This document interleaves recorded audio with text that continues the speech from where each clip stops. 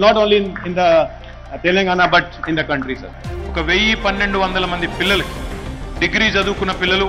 Intermediate చదువుకున్న పిల్లలు వాళ్ళకు ట్రైనింగ్ ఇచ్చి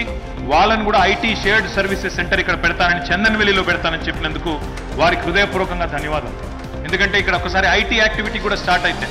చాలా మంది పిల్లలు స్థానిక పిల్లలు హైదరాబాద్కో బెంగళూరుకో పోయే అవసరం లేకుండా ఇక్కడే చందన్వెల్లిలోనే ఉద్యోగాలు చేసుకునే పరిస్థితి కూడా రావాలని నేను మనస్ఫూర్తిగా ఆకాంక్ష कि यहाँ से शमशाबाद तक वाया हैदराबाद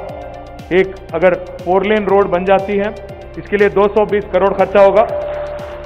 దీనికోసం రెండు వందల ఇరవై కోట్ల రూపాయలు ఖర్చు అవుతుంది దీనిని తప్పకుండా వీటిని వెంటనే డబ్బులు మంజూరు చేసి గౌరవ ఎమ్మెల్యే గారు అదేవిధంగా ఎంపీ గారు స్థానికంగా కోరిన మా ప్రజాప్రతినిధుల ఆలోచనకు అనుగుణంగా దీన్ని కూడా వెంటనే టేకప్ చేస్తామని చెప్పి కూడా నేను మీకు విజ్ఞప్తి చేస్తా ఉన్నాను మరి ఇక్కడ పారిశ్రామిక పార్కు రావాలి అన్నప్పుడు ఇక్కడ మీకు భూమి ఉన్నది.